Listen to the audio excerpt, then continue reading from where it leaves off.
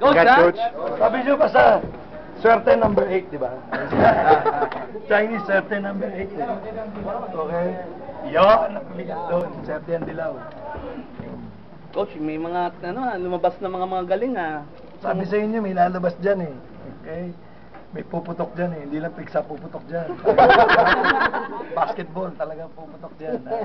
Uh, actually, ano, no, I give credit to talaga sa mga players. Talagang for 3, 4 months, talagang pagod na pagod sa akin yung mga yan. Sa turo, sa conditioning namin, mental conditioning, lahat talagang hindi kami sumali sa tournaments dahil nga ang inisip ko, sasali kami, bababa lang moral namin. Rather than sumali kami ron, bababa moral namin, hindi ko matuturo lahat, di, turuan ko na lang lahat sila. Okay, turo ko na yung sistema namin. Simple lang naman. Pag libre ka, shoot mo. Yun lang. Okay? Uh, at the same time, skills.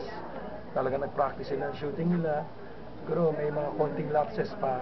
Pero definitely, yung team namin, naglaro. We play as a team, we work as a team. Yun lang. Coach, you talked about skills. Yung defense ni Jeric on Paulie, talk about that. Parang hirap-hirap si Paulie kay Jeric. Hindi, talagang may assignment kami ron eh. Kay talagang naka-focus si Jerry. Kasi ang ang in-emphasize ko dito sa team na to eh, we work as a team, we play as a team. Okay?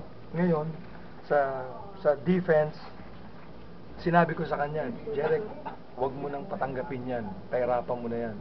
Ta miski nung summer naman talagang nagpo-focus kami sa defense eh.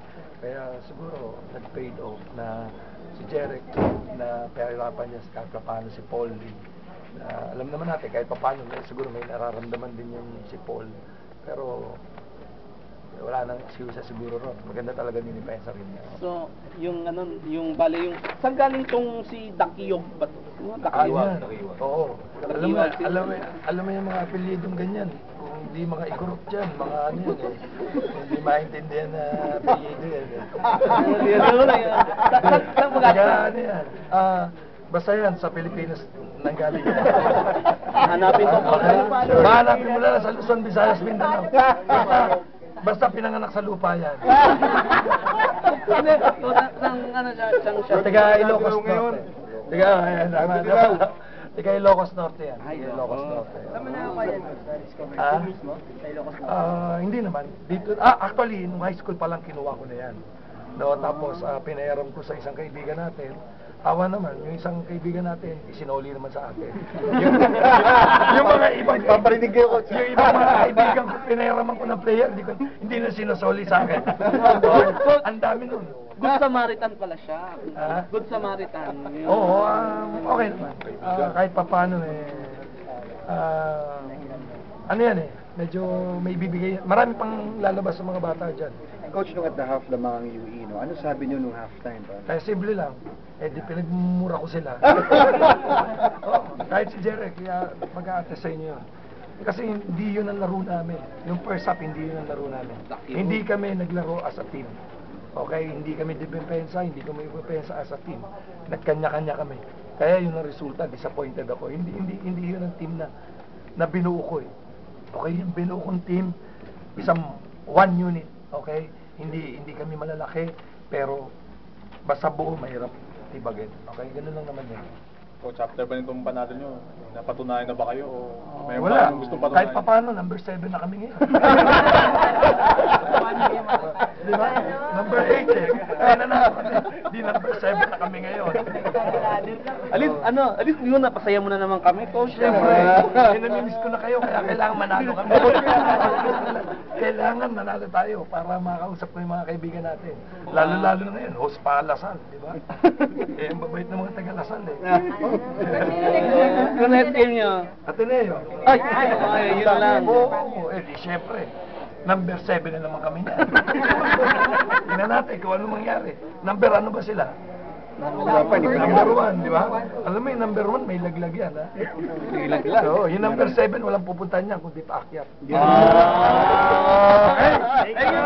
Thank you, Coach. Okay? Pito Lorenzo for Consular. Basta yun. Jeric, yung ano sabi, yung sabi sa'yo ni coach na assignment mo sa Poly, Ah, paano mo pinagandaan yun? Siyempre, medyo mabigat na responsibility. Dahil alam naman natin si Paul Lee, ah, napakagaling na player yan. Ah, yun lang, siguro these past few months, weeks, ah, talagang ina-emphasize ni Coach yung defense namin. Lalo na ako, talagang yung mga star player na mga nakatune up namin, talaga pinapabantay sa akin. Tinatry ko talaga depensahan yun. So, I think, uh, nag-workout ako ngayon sa defense. Ito yung takeaway naman from your offense.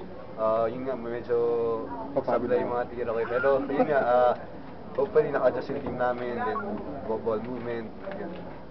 Je- Jerry, ano masasabi mo na, kasi dami nagsasabi, hindi kayo nag-pre-season, mahina daw kayo, daming napirata sa inyo.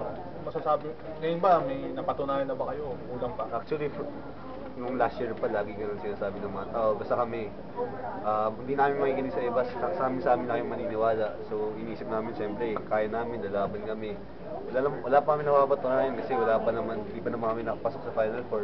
First game pa lang yan, marami pa pwede mangyari. Basta kami, ah, gagawin lang namin yung best namin. Questions? Alright, congrats. Thank you, thank you. Congrats.